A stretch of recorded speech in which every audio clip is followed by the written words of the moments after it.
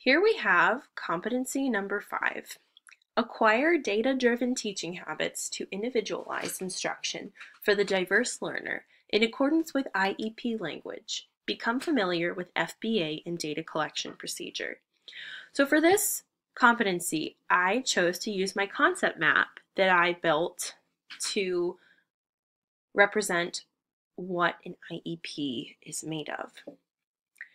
So, as I was thinking about this competency, I remember in high school and elementary school not really knowing whether kids had IEPs or not. And I didn't really even know what an IEP was until I took this class and started studying special education.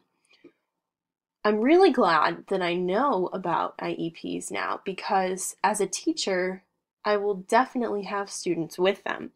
And I feel confident that now that I have the knowledge of what IEPs are and how they are built, how they require a lot of assessment and data collection and observation, I think that I will be able to make it a seamless part of my instruction. If I have a student with an IEP, I will do my best to, you know, make the modifications and accommodations that are required, but I won't, I don't think I'll call attention to it. I observed this semester a teacher at a middle school in the area, and her classroom is totally inclusive, but I really had a hard time sort of knowing which students had IEPs or had special needs because it was so well incorporated into her class that I didn't even really notice it. And I had a hard time picking out which kids actually had special needs.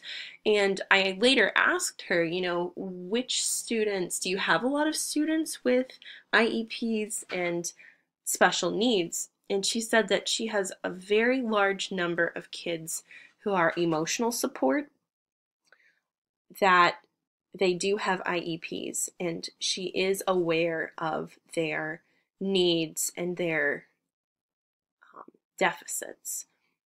But she said that she just tries to make it very seamless, very inclusive, and it could definitely show because I had no idea which students. It, they were very well incorporated, which I thought was genius. You know, that is really what my classroom I want to make it like that. So in the future, I think this knowledge of IEPs and how they're used will really help me become a successful teacher and a very inclusive teacher.